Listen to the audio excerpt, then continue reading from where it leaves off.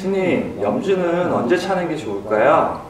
네, 어, 염주는 그 이름을 한번 해석해 보면 생강염자의 구슬주자거든요. 그래서 염주는 부처님을 늘 생각하면서 돌리는 구슬을 말합니다.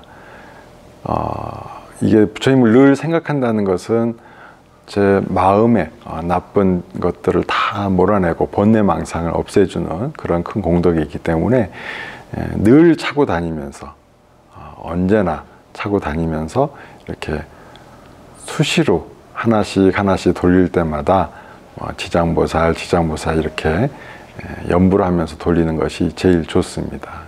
그렇기 때문에 매일 어, 잠들 때도 어, 씻을 때만 좀 빼놓으시고 씻을 때 외에는 언제나 좀 차고 다닐 수 있도록 하시면 좋겠습니다.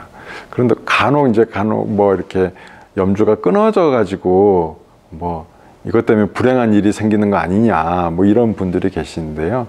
아, 그것은 수행의 도구이기 때문에 그렇진 않고 끊어졌으면 아, 스님께 뭐 이제 갖다 드리고 또 새 염주를 받거나 또는 새 염주를 구매하시면 아, 될 겁니다. 그리고 언제나 내 곁에 두고 익숙하게 뭐 지하철 탈 때 자꾸 스마트폰 요새 많이들 보시는데요. 또 게임도 많이 하시는데 그거보단 차라리 염주 돌리는 것이 큰 공덕이 있을 겁니다.